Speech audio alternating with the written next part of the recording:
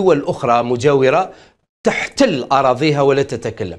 يتكلم على الجنرالات بدون نعم. بدون الجنرالات هم جنرالات يا دكتور علي دول أخرى مجاورة. دعنا نتحدث عن الجزائر وفرنسا اليوم. ربما ضيفك للأسف الشديد آه، قد تناول عشبة من نوع ما لا لا لا, لا نسمح بهذا الكلام بتاتا دكتور علي دكتور علي لا نسمح لا نسمح بهذا الكلام بتاتا على نعم على شاشة الغد. لا لا لا ارجوك ارجوك دعنا نسمع تعليق الآن. دكتور علي لو سمحت لي دعنا نسمع لا تعليق تعليق أخير. لا من الأستاذ مصعب حمودي ما تفضلت به لا لا لا لا يجوز ما تفضلت به دكتور علي لا يجوز. هذه إساءة في حقك. لو سمحت أنت إساءة؟ اليوم هؤلاء يرفضون دكتور التطبيع علي أرجوك. هذه إساءة هذه إساءة. و... ومصالحة. انتهى وقت هذه المقابلة. شكرا جزيلا يا سيدتي لك. دكتور علي لماذا أنت تفسري؟ انتهى لماذا وقت المقابلة. تحدث عن الحرطانيين من لم يفهم لماذا تفسري في مكاني؟ هذه هذه الكلمة ماذا تقصد بالحرطانيين؟ فانا معنا من الجزائر الدكتور علي أربيج أستاذ العلوم السياسية ومن باريس أيضا معنا أستاذ مصعب حمودي الباحث في العلوم السياسية والعلاقات الدولية. ضيفنا أهلا بكم معنا على شاشة الغد. أبدأ من الجزائر مع الدكتور علي أربيج. دكتور علي يعني ما لبثت هذه العلاقة أن تسير على المسار الصحيح حتى عادت إلى انتكاسة جديدة بسبب ملف الجزائرية الفرنسية بوراوي وبالتالي هل تودد إيمانويل ماكرون اليوم إلى الرئيس الجزائري عبد المجيد تبون سيدوب الجليد؟ اولا مساء الخير سيدتي. شكرا على الدعوة. تحية لك ولضيفك ولكل مشاهديكم. هو في الحقيقة هذه التصريحات عايدناها من طرف السيد الرئيس ماكرون حتى قبل أن يصبح رئيس في قبل العهده الأولى عندما زار الجزائر وقال وكانت له شجاعة آنذاك أنه سيعترف بجرائم فرنسا في آه، آه، الجزائر ثم انتكس على عقبيه. ثم بعد ذلك لاحظنا أنه في كل مرة يقدم كلام ولكن على أرض الواقع لا يوجد أي علاقة بما يقول وبما تقوم به المؤسسات الرسمية الفرنسية. هذه المرة وبعد هذا الخرق للهدنة التي ربما كلنا دفعنا نحوها وهي إصلاح أو إصلاح ما يجب إصلاحه في هذه العلاقات الجزائرية الفرنسية نلاحظ بأن هنالك اطرافا ما سماها الرئيس ماكرون بأنها ترفض تطبيع وإصلاح هذه العلاقات الفرنسية. وأنا من موقعي هذا كأستاذ وكمراقب أستغرب كيف لرئيس الجمهورية بهذه المؤسسات التي يقال بأنها ديمقراطية أنه يقوم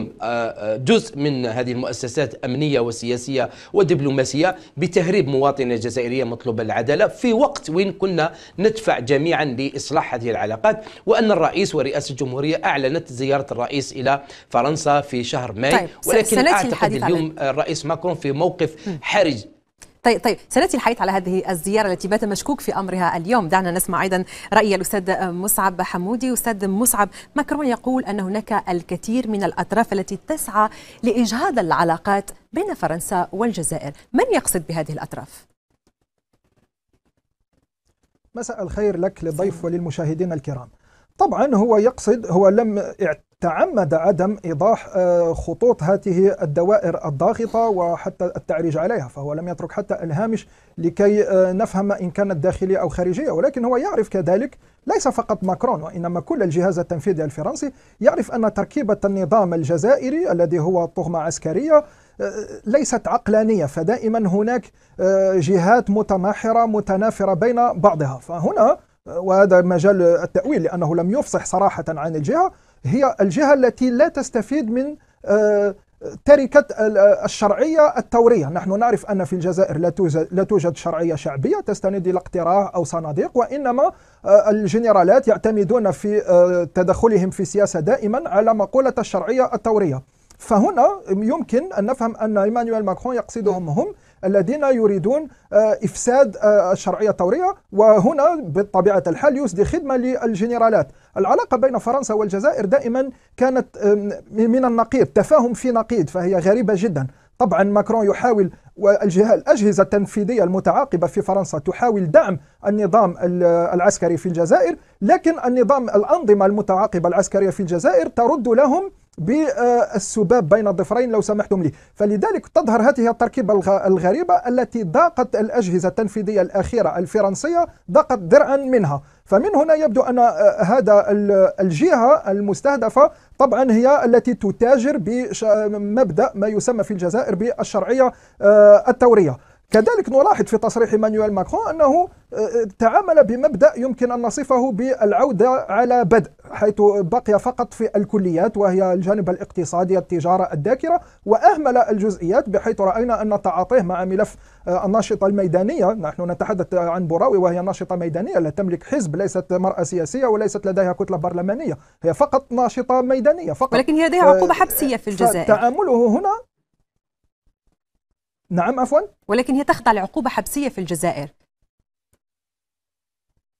نعم لكن الحساسية هي غريبة لأنه نحن نعرف أنه تم التضييق عليها. هي ناشطة ميدانية آه، تمارس حقها المفروض في التعبير لكنها في حياتها اليومية طبيبة. فصلت من عملها ضيق عليها بمبادئ قضائية تعسفية طيب. وهي الإجراءات القضائية وسحب الجواز. سحب منها جواز سفرها الجزائري فحينما هربت لم تعد لديها الجنسية الجزائرية فانقلبت الإجراء الأمني انقلب ضد من صاغوه. كان فقط عليهم أن يتركوا لها جواز سفرها حتى إذا غادرت كانت الجزائر ستستجلبها من تونس. فهنا وضعوا أنفسهم بمأزق هم بأيديهم لأنهم بسحبهم الجواز. طيب. آه الجزائري منها تركوا منها الجنسية المكتسبة من زواجها مع نعم. فرانكو جزائري. طيب آه، أتصور أن ضيفنا الدكتور علي ربيج من الجزائر لديه تعقيب على كل ما تحدث عنه لأن ذكرت صراحة نقاط لافتة جدا.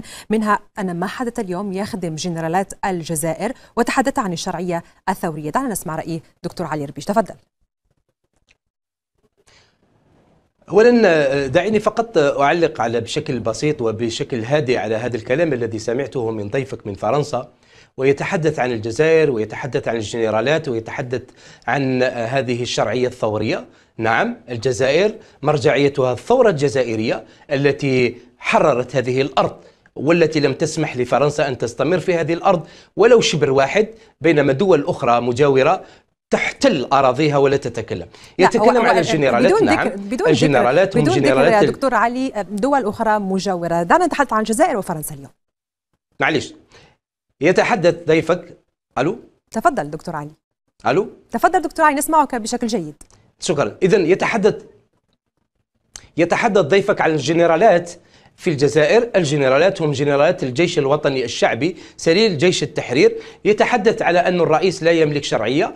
الرئيس تبون منتخب من طرف الشعب الجزائري والشعب الجزائري سيد في قراره ولا يقبل إملاءات أي طرف كان. ونحن الشعب الوحيد ربما في المنطقة الذي يكافح من أجل الشعوب التي تريد أن تقرر مصيرها يتحدث ضيفك على المناضلة أو ما يسمى بهذه الناشطة التي تم تهريبها من الجزائر. أولا هذه الناشطة التي يتحدث عنها ضيفك الآن بشكل واضح ثبت بأن المخابرات الفرنسية قامت بتهريب هذه الناشطة. والسؤال لماذا لا تتحرك المخابرات الفرنسية لتهريب هذا العدد الكبير من المهاجرين الذين يخرجون من الأراضي الجزائرية والتونسية والمغربية؟ ما دام هذه المخابرات تدافع على مسألة حقوق الإنسان. ضيفك يتكلم على أساس أنه العلاقات الجزائرية الفرنسية الذي تسبب في آه، آه، الإساءة إليها هو الطرف الجزائري. وهذا خطأ. الذي تسبب في الإساءة إلى العلاقات الجزائرية الفرنسية هو الطرف الفرنسي.